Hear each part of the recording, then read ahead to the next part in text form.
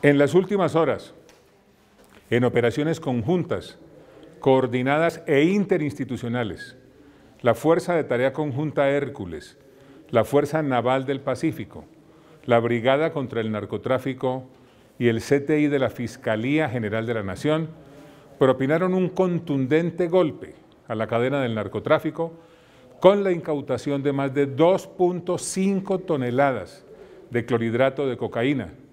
863 kilogramos de pasta base de coca,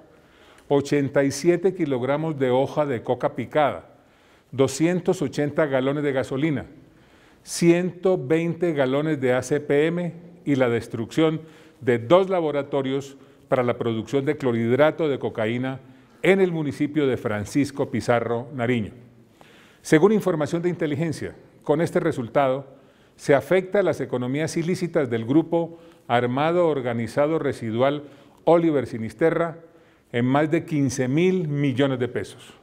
además de impedir que se continúen realizando actividades de narcotráfico en esa área del país.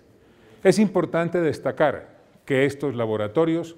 tenían la capacidad de producción de 5 toneladas mensuales del alcaloide. Con este resultado se da un contundente golpe al GAO residual Oliver Sinisterra,